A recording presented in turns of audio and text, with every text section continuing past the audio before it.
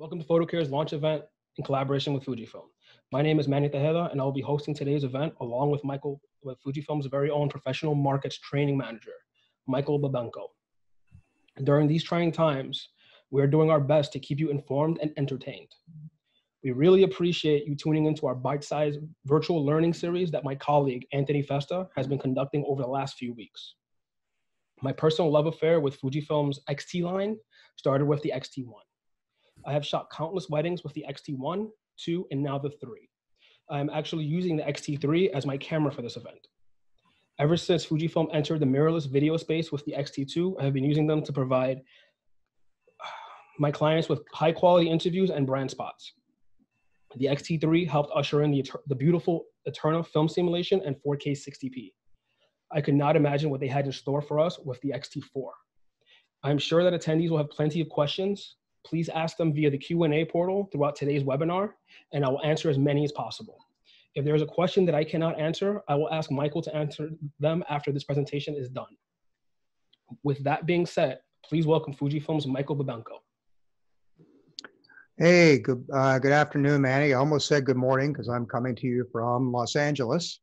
Uh, so I'm looking forward to having a nice lunch when this is over um, thank you for the very, very kind words about the, the system. And um, glad to hear that you've been happy using the cameras for years and years. I'm going to guess that probably most of your participants that are signed on today are already Fujifilm owners as well. And for those of you that aren't, that are looking to make a switch, uh, I'm pretty sure this little baby will be just the ticket you're looking for. So this will take about uh, 40 minutes of me talking. Uh, it's going to be mostly a slide presentation and I'll go out for some uh, live uh, demos as we go. But I'm now going to start sharing my screen here and go into the presentation. Manny, can you confirm you're seeing my slide? I can confirm. Okay, cool. So here we go. Um, thanks for joining us again. We'll start talking. So the camera, of course, uh, was announced not recently ago. Uh, it's very, very highly anticipated. And why is it not moving? Ah, there we go. it will be available in two kit options. Pardon me. So the body only is going to be $16.99. That's $200 more than the XT3. So the XT3 will be doing some comparisons. Uh, but I think you're going to find by the end of this that the extra $200 is actually really, really worth it. Uh, you get a lot of bang for the buck with this. Uh, you'll have two kit option choices when it comes out, or when the kit options come out, which may not be at the same time as the body only. Uh, so you'll be able to get the 1855 uh, 28 slash 4 kit lens that's been a really reliable uh, basic kit lens now for uh, many, many years uh, for an extra $400. For an extra $500, you'll be able to get the newer XF 16 to 80 F4. Uh, so you'll have two choices with the kit options. So in a nutshell, uh, and again, I'm going to dive in deeper in the next uh, 35 minutes about all this, but uh, these are the highlights of what the XT4 is bringing to the table. Uh, several new features, some that have not been seen in X series cameras at all, um, and other stuff that is just improvements on what we've had. So the basic layout of the XT4, uh, for those of you who are familiar with the X series, you'll see is extremely familiar, not much different at all. A couple of little things have moved to a different place. Some things are more prominent. Some things have been put a little farther out of the way but the overall design has not changed at all. Okay, it's still the beautiful design that we've got that people have come to like with the, the knob for the shutter speed, the knob for the ISO, the large exposure compensation knob. Um, but some of the things changed on the ports of the camera. Again, excuse me.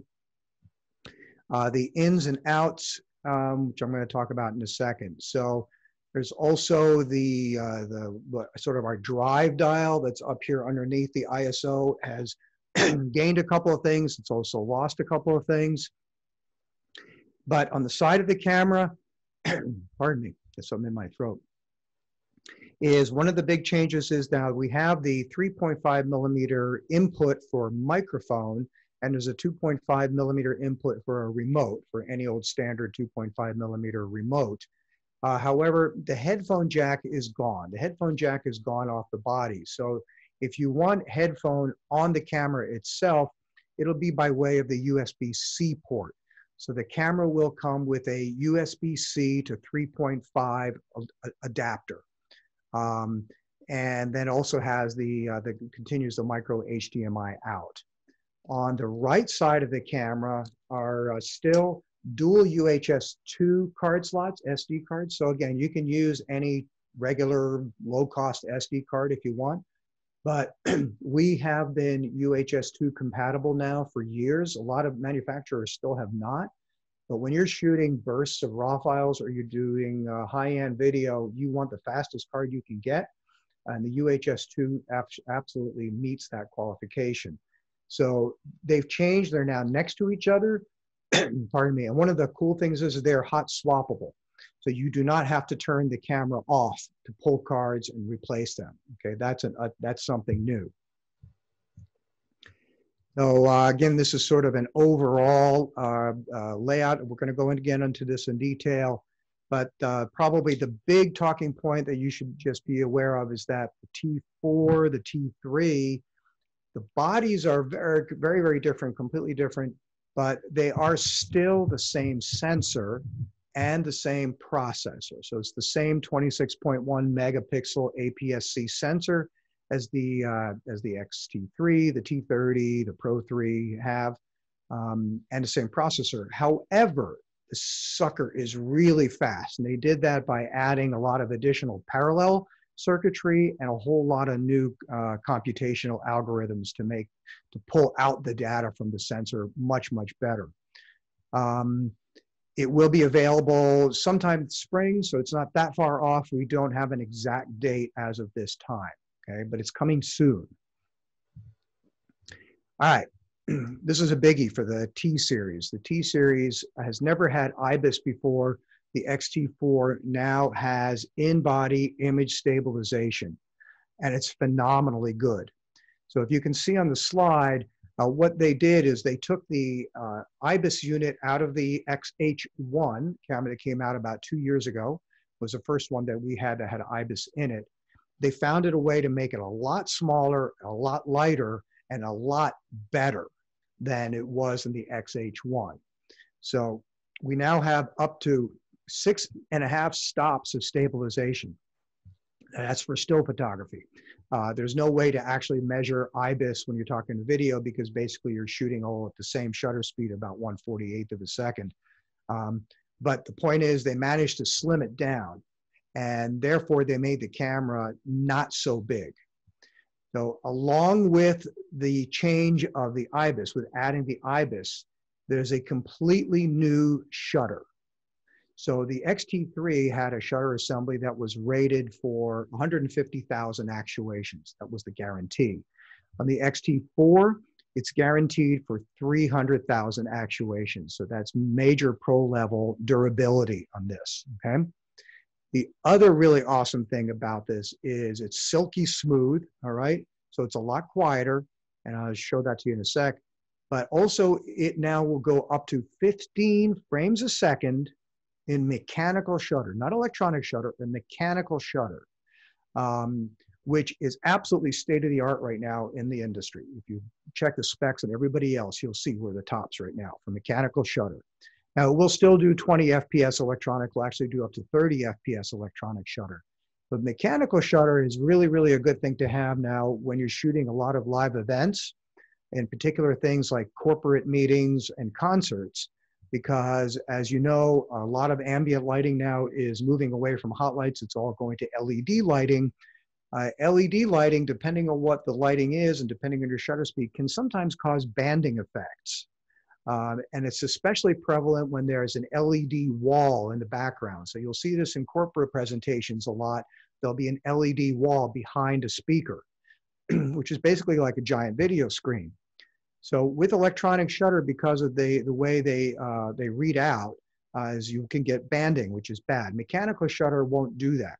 So having a really quiet mechanical shutter that can go fast can come to your rescue when sitting and shooting in those situations where you may be forced to go to mechanical, but you still don't want to annoy the people around you. So let me show you how quiet this thing really is. Um, I've got a big microphone right here, all right? Sitting right in front of me. This is an XT3, is an XT4. They both have the same 16 millimeter 2.8 lens on there. And uh, they're both set to 125th of a second. And both of them are set to continuous high. Now, the continuous high uh, for mechanical on the T3 was only 11 FPS. This is going to be 15 FPS, but you're going to see what I'm talking about. So I'm going to hold it right here in the same place, right here down at my chin. I'm just going to fire, and this will be about four inches away from the microphone. I just want you to listen. So here goes XT3. And I'll do that again. Here comes XT4, the same position.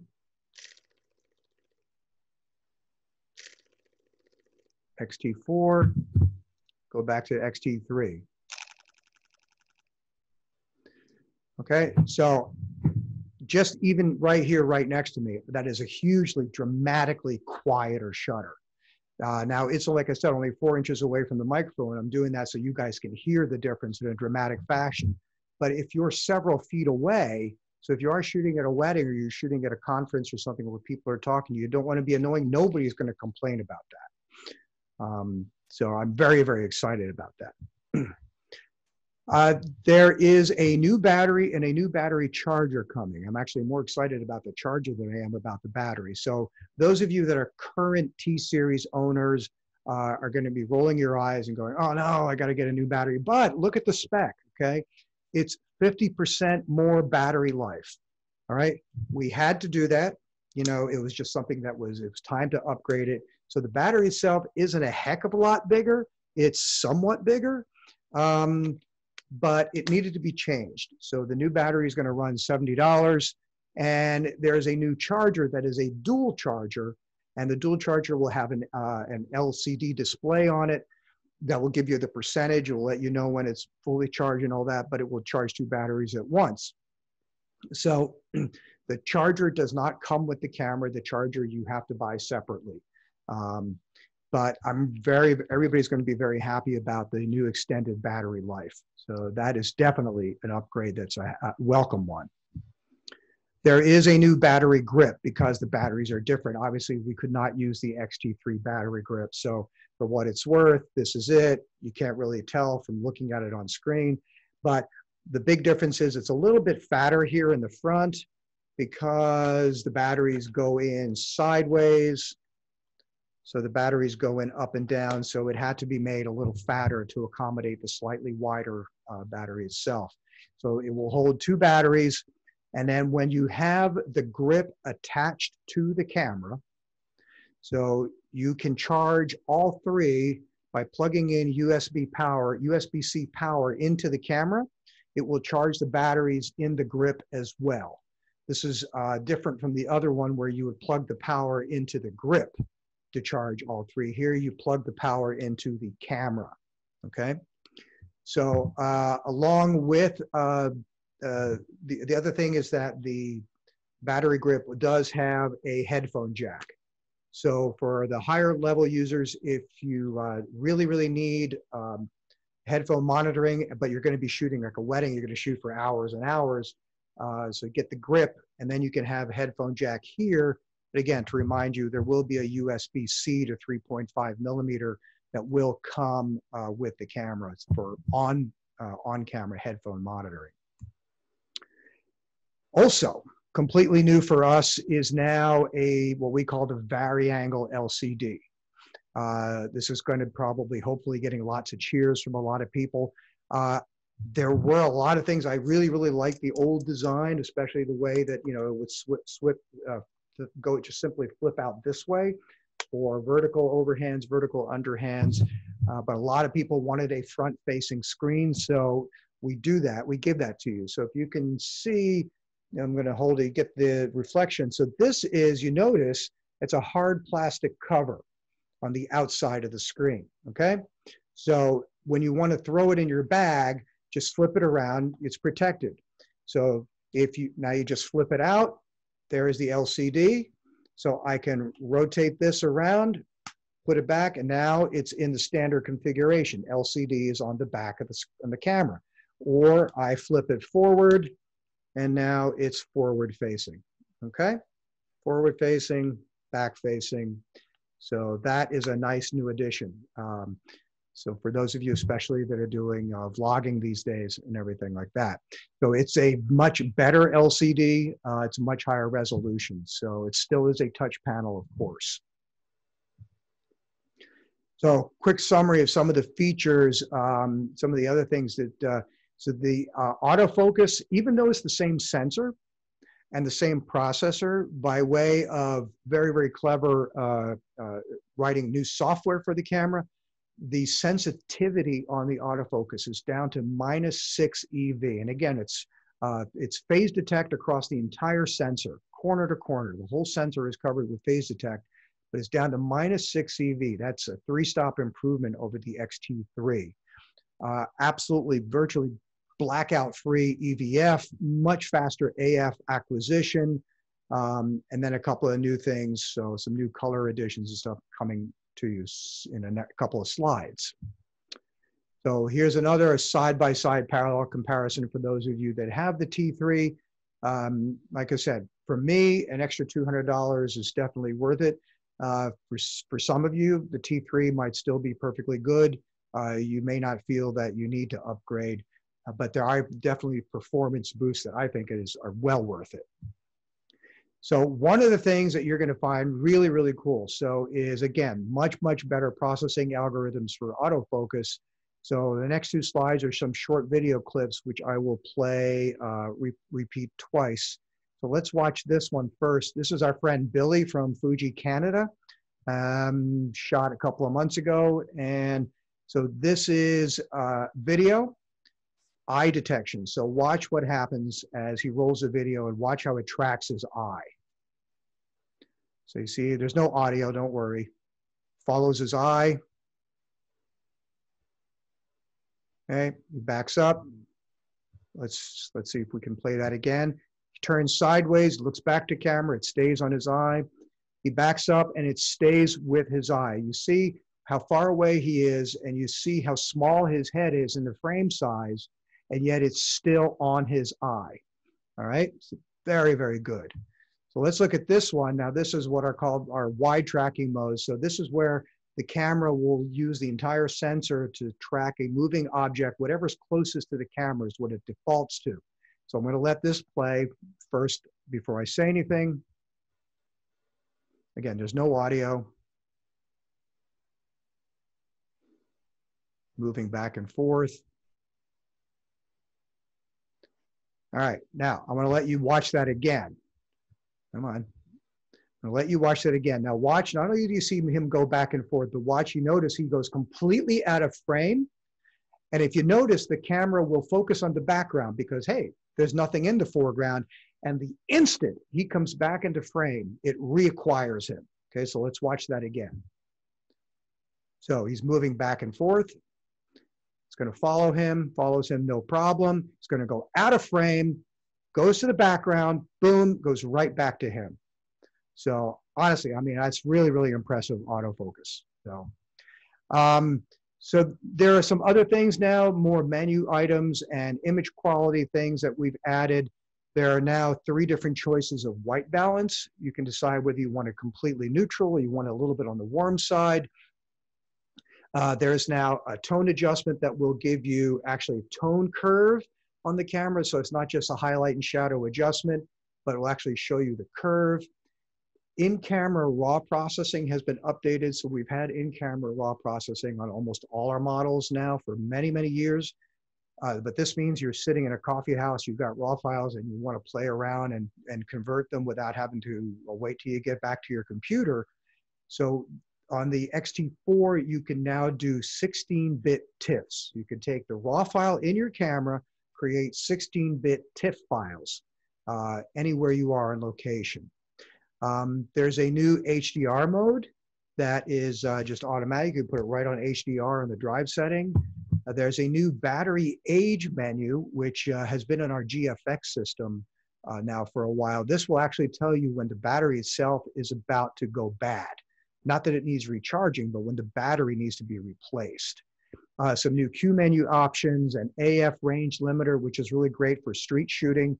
So you can say, if you're sitting at a cafe on a sidewalk and you only wanted to focus, say, three feet to six feet and never farther and never closer, you can set a custom range and that way it will eliminate any errors of it trying to accidentally focus on something across the street.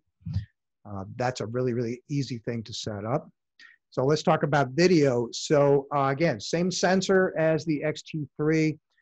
Uh, so it does still have full Cinema 4K 60p capture, and that's 10-bit internal on the camera. So Cinema 4K is a little bit wider aspect ratio. It's 17 by 9 compared to UHD 4K, um, which is 16 by 9. So UHD is what all the TVs that you buy out at Best Buy or Target, whatever. Uh, Cinema 4K is the movie aspect ratio for wider screen. It's about 300 pixels wider. Uh, but again, up to 60p internal on the camera, 10 bit. Um, but this is a really, really cool thing that our uh, designers and engineers came up with. So on the top of the camera, underneath the, uh, underneath the ISO knob, there's the rotating collar, which uh, used to be the metering mode on the XT3, the T2. Now it is uh, basically the function setting, the, the, it goes from still to movie. So what we did was we took the T4, we made it two separate cameras in one body. so when you're in the movie mode, you cannot even access any of the still shooting menu items. When you're in the still mode, when you're still shooting, you cannot access the movie menu items at all. They just don't appear. So it's two completely separate memory banks, all right? which is really good for event shooting when you're shooting stills and then you want to grab some movie for some movies and then you want to go back to still you want to go back to movie you just put your index finger on here flip it and you never need to worry about what your setup is okay your setups remain completely independent so you don't have to freak out you know is my what is my white balance what film sim am i set to all that kind of stuff completely separate you have really peace of mind now when switching back and forth uh, on the fly. So a summary now of the video capture settings. So uh, there are uh, a couple of new things. So one is in HD, the X-T4 will go up to 240 frames per second. So with a 24, uh, 24 FPS playback timeline, that's a 10x slowdown, 240p in camera. Okay, that's HD, not 4K. 4K is 60p. Um, there is a new F-log assist function. So that means when you're shooting logarithmic uh, on the camera, uh, you can very quickly, you can assign a function button to give you a Rec 709 film sim look. Even though you're recording in F-log, you can see it on the camera in a film simulation. It defaults to the standard Provia film sim. So even if you're recording external uh, F-log to a separate recorder, you can still view in camera on uh, in a film sim. So that's good because the F-log is so soft and muddy and yucky looking. A lot of people have problems with focusing. Uh, by seeing it in a Rec 709 color corrected F gamma assist, it helps you with focusing um, and also exposure control and then a few other smaller things. But also, I like the bottom on the thing on this slide is now with the two card slots. You can now record video simultaneously to both cards. We didn't have that before. So you now have an internal backup of your cards. So uh, definitely you might want to get yourself some bigger cards, uh, some 64s or some 128s if you're doing long uh, recording sessions. The other thing now is we I showed you the IBIS, you know, for uh, for still photography. In video shooting, there is now a digital image stabilization mode. Okay. Um, so what this is is in between the the IBIS is actually moving the sensor around physically to compensate for the, the what the gyroscope detects in your camera in your uh, handshake and your camera movements. Okay, it senses that, moves the sensor, moves the sensor around. Digital image stabilization actually takes the recorded file and then moves the pixels around inside the frame to add an additional level of stability. So in software, some softwares do this and they call it warp stabilization or things like that. So this is good, but, but you do have to crop the picture, okay? So uh, it's a 29% crop when you have DIS turned on uh, in 60p. All right, 10% crop in all the other modes. So it has to be cropped because, like I said, it's actually moving the pixels around, so it needs room to be able to do that. So here are some, uh, some videos showing the stabilization modes. So this one is the uh, DIS comparison. So this is with it off. And uh, I don't know if it's a little bit laggy because of uh, the internet uh, connection. You know, have to apologize for that. So if you look at the DIS on, you'll see there's a slight crop to the uh, to the image. There's a side by side here. These are files that came from Tokyo. I didn't shoot these. But you can see it's a bit smoother, right? So the IBIS itself uh, actually works very, very well. So let's look at, there's also something called the IS mode boost. this is not, this is not digital image stabilization, so it doesn't crop the picture. Um, but what uh, you have here, although this is with it turned on, but what this is, is when you're hand holding, you're not moving. So this is not a good thing to turn on when you're actually moving the camera.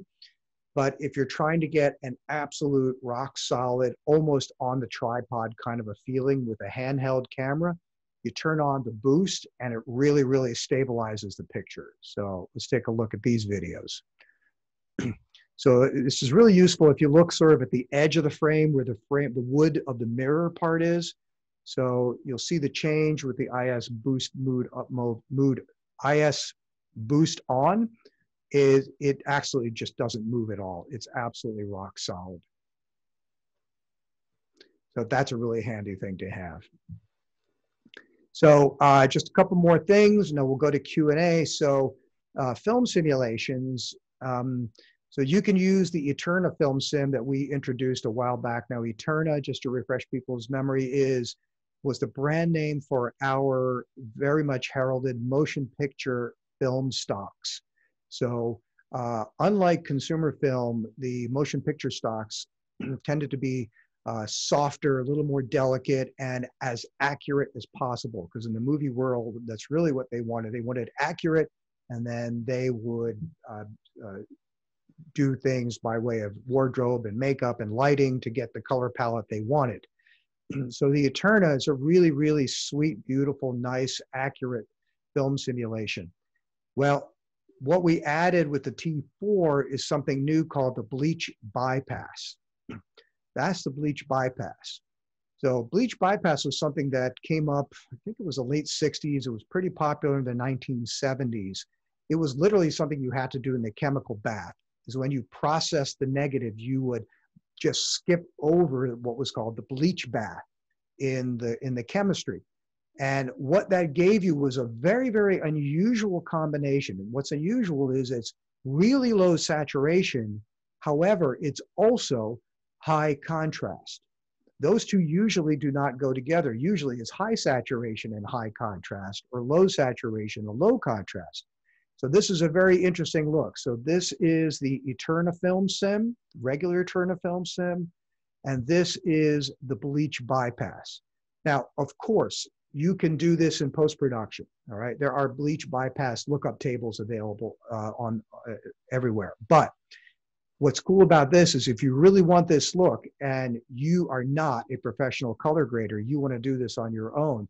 So you could record F-log to an external recorder, for example, but you could do the bleach bypass, the, the Eterna film sim internally on the camera, or vice versa. You could do F-log here, the film sim to an external recorder.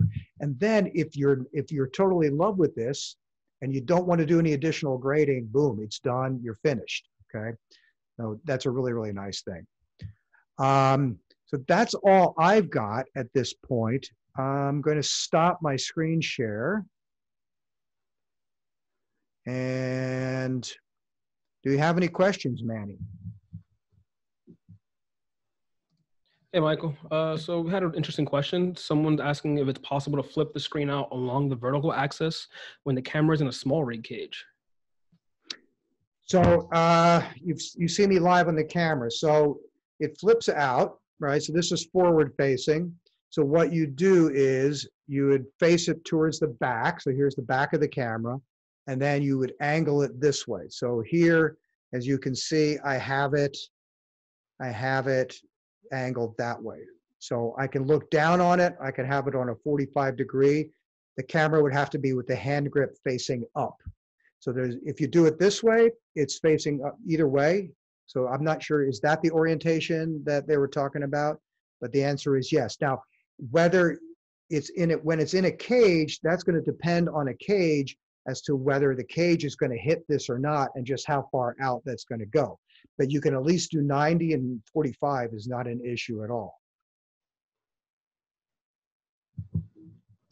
Currently, that was the last question. Uh, oh, there you go. Any educational discount program on XT4 and its accessories? Oh, Manny, you know about the educational program. Well, so right now the camera is not out yet. So the camera has yet to ship. Uh, but there is an EDU program that's available through all your dealers. Um, you just have to prove that you're a student, and uh, it's something you you do through your dealer. So it will won't be any different than any of our other cameras. Uh, all right, so we have a few more now. Uh, let's see. Uh, does the camera have Bluetooth broadcast capabilities? Bluetooth, Bluetooth broadcast. Um, I mean, that's a good question. I don't know. So, you know, Bluetooth, if you can connect it to any device by Bluetooth. Oh, so you mean like live live video streaming, Bluetooth? Uh, I would say the answer is no to that but we don't have final firmware yet, so I can't. It's possible, but I don't think so. The Bluetooth bandwidth is not that high for image transfer. So uh, by by way of Wi-Fi, that would be a better way to do it, not by way of Bluetooth. All right. Um, is it compatible with the Ronin S? Uh, I have no idea. That's something that our engineers in Tokyo would be working with uh, DJ, DJI on that. Um, I can only assume by the time it ships, the answer will be yes. But at this point, no way of knowing. All right. So most of the questions right now are about shipping dates, uh, which we cannot confirm at the moment. Like I've told you, all I know is sometime soon. Yeah. Um, will there, have there been any production delays on the XT4 due to COVID nineteen? Well, yeah. it was it was supposed to have been out like already. So uh, will it tie into the old app or there will be a new app? I assume. No, the, the, I mean the remote app. You know the the software engineers update as necessary. Uh, it will it will it will probably there will probably be an update to the app um, just to make sure the communication is the same. But I mean it's we use the same communication protocol for all of our cameras. Um, but uh, I, I don't know if they're going to redo any of the interface at all. They do change it from time to time, but it will be a minor update. So uh, most of the app updates have to do with the uh, operating system on your phone than they do with the cameras.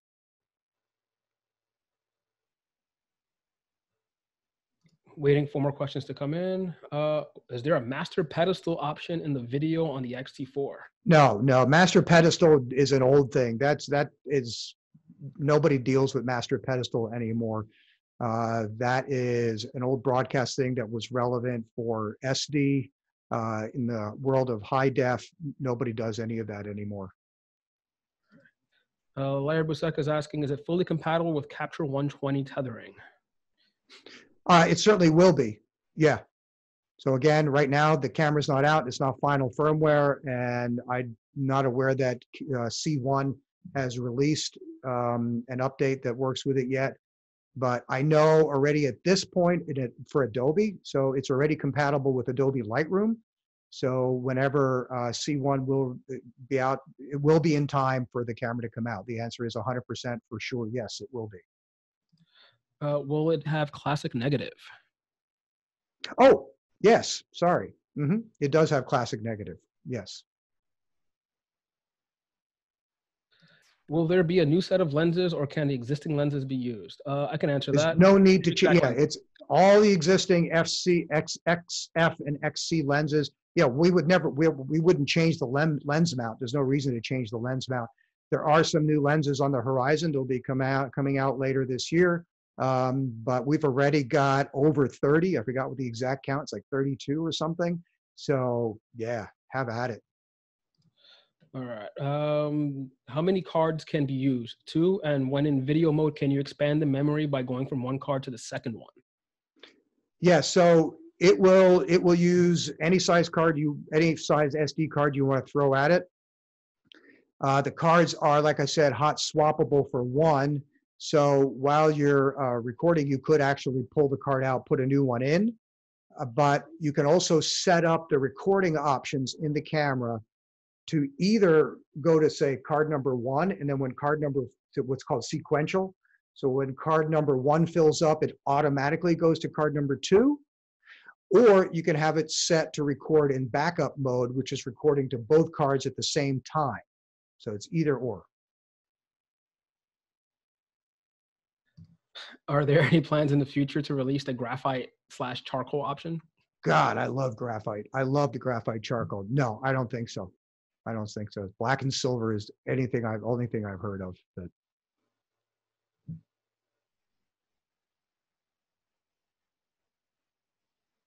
Uh, from the looks of it, oh, uh, one of our one of my colleagues, Anthony, just chimed in that uh, Capture One will be releasing an updated version to support the XT4. Yeah, absolutely. All right, so uh, there's no there are no more questions currently. Oh, good. Uh, That went faster than I thought. I'm personally excited for this camera. It Fuji's always been able to cram ev- every feature they possibly can without having to making you dive into a menu. That's something that not many camera manufacturers can claim. uh, I love that new i- that new dial that goes from movie to still. Yeah. Um, I'm still trying to figure out why guys didn't leave the the IO jack uh, port cover before it was removable. It no longer is. Any uh, insight into that? Uh, I don't know. I, I, I have no idea why they changed that. Oh, but one thing that is removable is actually the uh, SD card door. So, and this has to do with camera. This has to do because of cages. So a lot of cages, uh, if it's not a custom cage, if it's the kind that wraps around the right side, will block the card door. So this door actually comes off.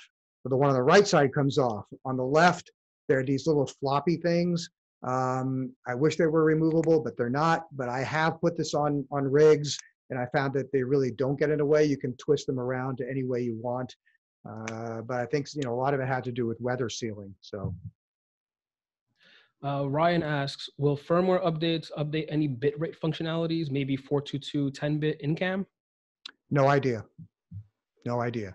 So just to address that, and this is not I'm not uh, looking to pick an argument or something, but 420 is actually phenomenally good. It's phenomenally good. Uh, really, really time that you really want um, 422 is when you're doing really lots of major color corrections. Uh, and with green screen, it's helpful, but I've pulled perfect, perfect green screen keys in 420. And if you go back uh, like a year and a half to the demo film that we made for the XT3 camera, it's online, it's on YouTube. It's called A Different Beyond. It was shot by Matty Libatique of the ASC, huge, big name uh, cinematographer. If you watch that movie, there are blue screens in that, okay? There are composites in that. Well, when we shot that movie, uh, it was really early pre-production firmware uh, on the camera, and we could not get uh, good HDMI out on that camera at that time. So we recorded everything on that to the internal SD cards, and that was all internal 420, and it was absolutely beautiful, beautiful blue screen pulls on that in 420, and all the action that movie, if you haven't seen it, watch it. You'll see it's motorcycle chases, it's car chases, it's all kinds of stuff, but that's internal 420. The 10 bit is more uh, in, more important than the 420 422. I'm sorry, that was a long-winded answer, but whether they can do it or not, I do not know. So that was a great answer. Uh, I had a customer, Ryan. He said uh, to repeat the name of that movie and where can you find it? Uh, so it's got a funny name. It's called A Different Beyond. But I think if you just go to YouTube and just search Fujifilm X-T3 demo movie, um, you'll find it. It's about nine minutes long. So Matty Libatique did Straight Outta Compton. He did uh, the, the, latest Star is Born. He did two Ironmans. He did Iron Man 1, Iron Man 2. This guy is major big time, and he happens to be a Fujifilm user. Um, so he basically did like a nine minute mini Marvel movie. Don't watch it on your phone because there's a lot of dark. So he pushed the lighting capabilities on that movie. Please watch it on a computer screen because there's a lot of dark scenes in it which you'll miss on your phone. Uh, but you'll see, you'll see that is a that is a full blown high tech production. And there's also a really good like 10 minute behind the scenes showing what we did. We put the camera on cranes, we put it in drones, and it's all X-T3, all X-T3, and uh, most of it with uh, X series lenses as well.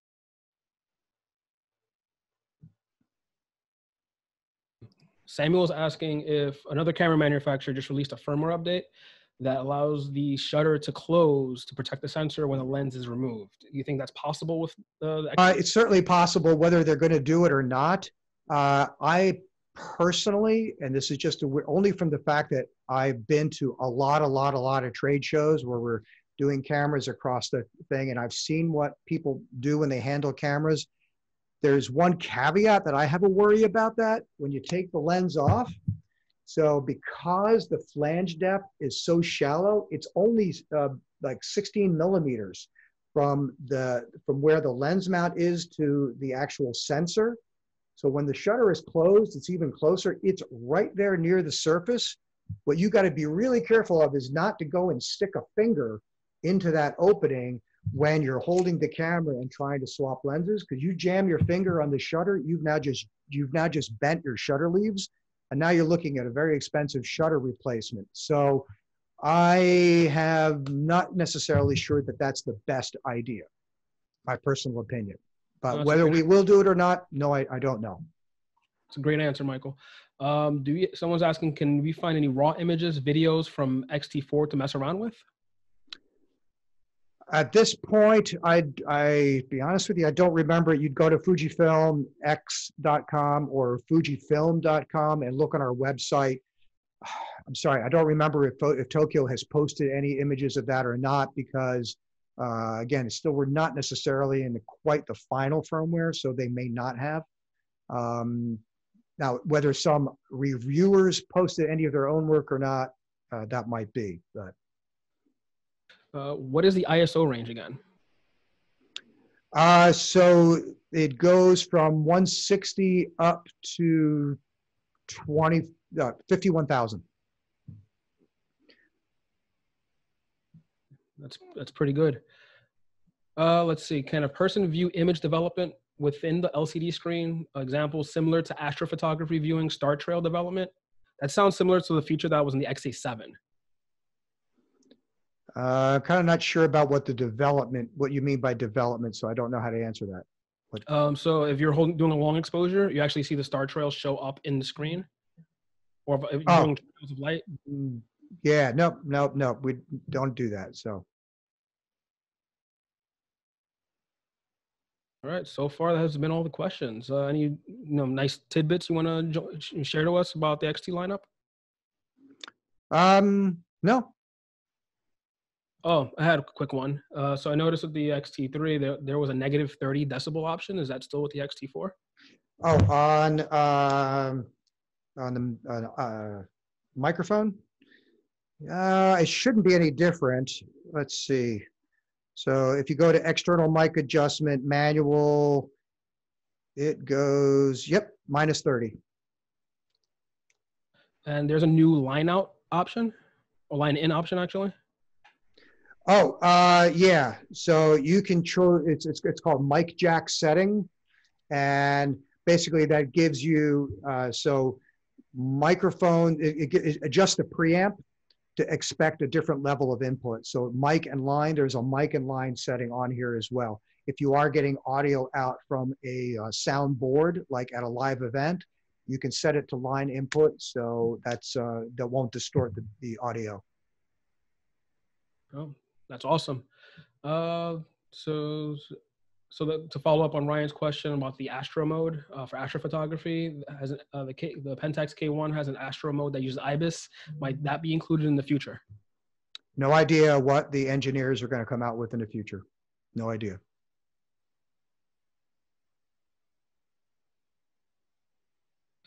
All right, so that looks like it's all the that, that's all the answers, and we're gonna wrap it up. Um, Cool. In closing, uh, so if anyone has any pre-orders that they want to, you know, send our way through Foto Care, uh, please send inquiries to sales at fotocare.com. Sales at fotocare.com. Uh, if you'd like any support questions, any uh, Capture One, Fujifilm, anything, uh, how we can help you, please email support at fotocare.com. Support at fotocare.com. We will try to answer as fast as possible. Please visit our Foto Care event page for more virtual events such as this. We have a few more of, you know, with Anthony Festa next week and maybe some more dealers down the line, or vendors down the line. Uh, thank you, Michael and Fujifilm's North American team for supporting today's webinar and especially spending time with us today. Be safe, stay strong, and we'll get through all of this together. We will get through all of this. Remember that. Yep. Take care, New York. Thanks, Manny. Take care, Michael. Stay safe. You too.